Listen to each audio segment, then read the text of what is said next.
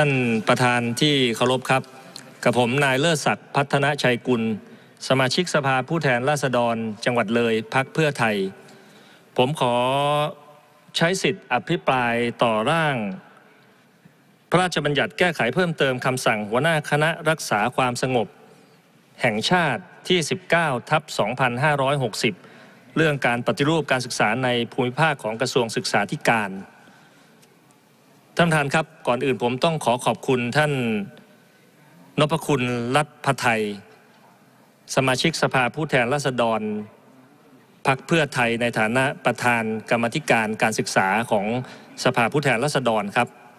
ที่ท่านได้ยื่นเสนอร่างฉบับนี้เพื่อให้สภาได้มีมติในการแก้ไขปรับปรุงคำสั่งคอสช และต้องกราบเรียนครับว่า ผมมีความตั้งใจอย่างยิ่งที่จะอภิปรายแสดงเหตุผล เพราะว่าในตลอดระยะเวลาที่ผ่านมาได้มีโอกาส พบปะแล้วก็พูดคุยกับบรรดาผู้บริหารและก็บุคลากรทางการศึกษา ทั้งจังหวัดเลย รวมถึงได้รับเรื่องร้องเรียนจากหน่วยงานแล้วก็องค์กรทางการศึกษา หลายองค์กรครับ ที่มาแสดงความคิดเห็น แล้วก็ไม่เห็นด้วยกับร่างพรบการศึกษาแห่งชาติ ที่กำลังจะนำเสนอเข้าสู่สภา ในการพิจารณาในวันศุกร์ที่จะถึงนี้ ดังนั้นมีความจำเป็นครับที่จะต้องขอถือโอกาสนี้เป็นตัวแทนของบุคลากรทางการศึกษา ได้แสดงเหตุผลประกอบ ดังต่อไปนี้ครับท่านประธานครับ ผลกระทบ จากการออกกฎหมายในช่วงของรัฐบาลคอสช โดยเฉพาะในส่วนของสภานิติบัญญัติแห่งชาติ กฎหมายหลายฉบับครับที่ออกมาขาดความรอบคอบ ส่งผลกระทบหลายอย่างหลายกรณี และโดยเฉพาะอย่างยิ่งนะครับ การใช้คำสั่งคอสช ผ่านการออกมาผ่านมาตรา 44 ของรัฐธรรมนูญชั่วคราวปี 2560 ตรงนี้แหละครับที่เป็นการออกกฎหมายซึ่งสะท้อนถึงความพยายามที่จะไม่มีการไม่ให้มีการกระจายอำนาจ ตรงนี้เป็นหน้าเป็นห่วงครับ เพราะว่าคำสั่งคอสช 19ทับ2560 เนี่ยเป็นความหวังดีก็จริงที่จะแก้ไขปัญหาในเรื่องของการบริหารจัดการของการศึกษาในส่วนภูมิภาค มีการปรับโครงสร้างองค์กร แล้วก็ระบบการบริหารจัดการรวมถึงการบริหารบุคลากรที่เป็นอุปสรรคต่อการขับเคลื่อนการจัดการศึกษา แต่บังเอิญว่าร่างไอ้คำสั่ง 19 ทับ 2560 เนี่ยครับ ผมขออนุญาตใช้คำว่ามันถอยหลังลงคลองครับ มันเป็นการรวบอำนาจดึงอำนาจกลับมาไว้ที่ราชการส่วนภูมิภาค ซึ่งก็ไม่น่าแปลกครับในในสภาวะของการบริหารจัดการในยุคของคอสช ท่านประธานครับ ท่านคงจำได้ความก้าวหน้าของการจัดการศึกษาในช่วงของรัฐธรรมนูญปี 2540 ที่เป็นรัฐธรรมนูญฉบับที่ดีที่สุดฉบับหนึ่ง เน้นเรื่องของการกระจายอำนาจในทุกรูปแบบ และโดยเฉพาะอย่างยิ่งการจำนาจในเรื่องของการจัดการศึกษา ในช่วงนั้นเนี่ยครับ มีการจัดตั้งหน่วยงานที่เรียกว่าสำนักงาน คณะกรรมการศึกการศึกษาขั้นพื้นฐาน ที่เรียกว่าสปทมีอำนาจรับผิดชอบแทนสำนักงานปฐมศึกษาแห่งชาติ หลังจากนั้นนะครับก็มีการแบ่งแยกเป็นสำนักงานเขตพื้นที่การศึกษาประถมศึกษาสำนักงานเขตพื้นที่การศึกษามัธยมศึกษา แยกออกจากกัน เป็นความก้าวหน้าครับ เพราะ แต่ละเขตพื้นที่ก็บริหารจัดการของตัวเอง ดูแลรับผิดชอบบุคลากรทางการศึกษาในเขตพื้นที่ของตัวเอง สะดวกรวดเร็ว และโดยเฉพาะอย่างยิ่งการบริหารงานบุคคลครับ ก็จบในเขตพื้นที่การศึกษาของตัวเอง ถือว่าเป็นการกระจายอำนาจทางการศึกษาจากส่วนกลางไปยังพื้นที่ต่างๆ ได้อย่างทั่วถึงและรวดเร็วครับ โดยเฉพาะ เรื่องของการแต่งตั้งโยกย้าย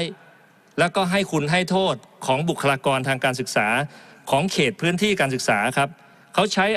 อำนาจตามกฎหมายว่าด้วยการจัดการระเบียบข้าราชการครู และบุคลากรทางการศึกษา ผ่านอกคส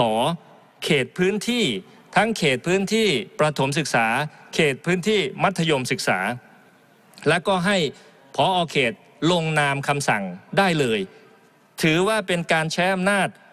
ของผู้บังคับบัญชานะครับต่อผู้ใต้บังคับบัญชา และเกิดการมีส่วนร่วมครับ เพราะใน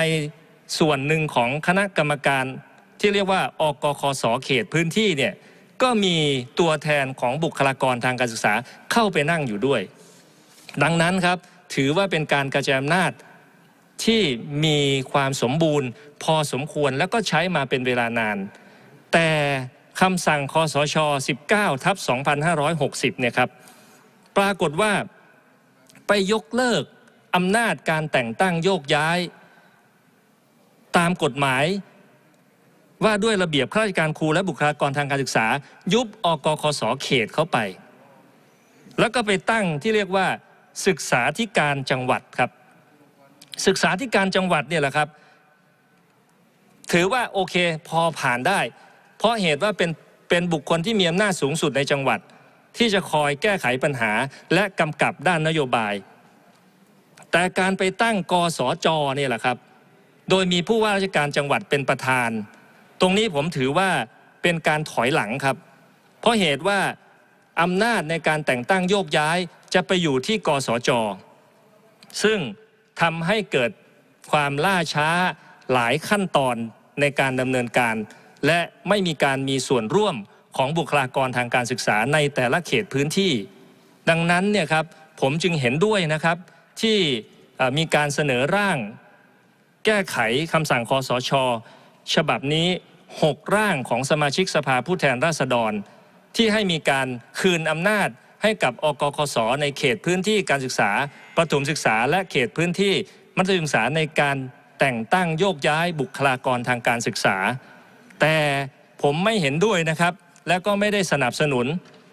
ร่างของคณะรัฐมนตรีครับ ที่ดึงเอาอำนาจการแต่งตั้งโยกย้ายไปอยู่ที่จังหวัด เช่นเดิมเรียกว่า อกคสจังหวัด หรืออกคสกรุงเทพมหานคร ตรงนี้ก็ยังคล้ายๆกับกสจไม่ได้เปลี่ยนแปลงอะไร